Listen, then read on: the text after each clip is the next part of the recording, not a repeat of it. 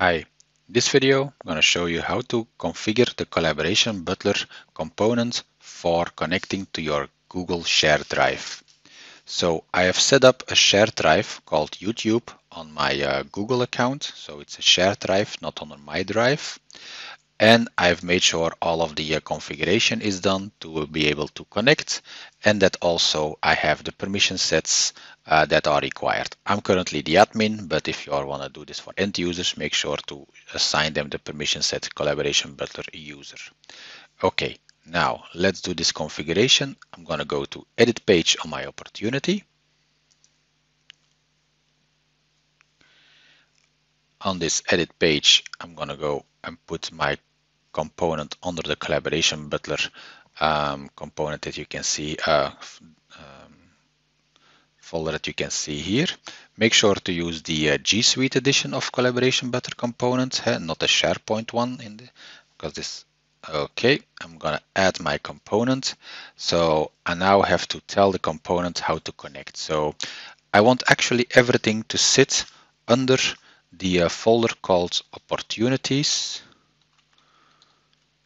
slash and then I want to dynamically create a folder depending on the name of my uh, of my opportunity. So that's how I do it over here. If you want to fill this in with an, uh, a formula field or any other field, not a problem. Any field is possible, but you just have to make sure this is the API name of the field and the field is on the uh, the page layout. Okay, if it's a field, a uh, formula field, for instance, and it contains slashes, then for every slash, a new subfolder will be generated automatically. Okay, I want this component to connect to my drive, so I'm just gonna copy my drive ID here.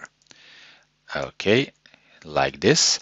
I want this component to know what is my OAuth key, so that's a public key for uh, um, my client ID for my YouTube uh, connection. I'm just going to copy it from here and paste it over here. Okay, and then next up, of course, I want to say that I automatically want to uh, generate any missing folders and I want to enable inline actions like uh, drag and drop files onto my uh, onto my uh, component over here and create new folders. Okay, let's save this one.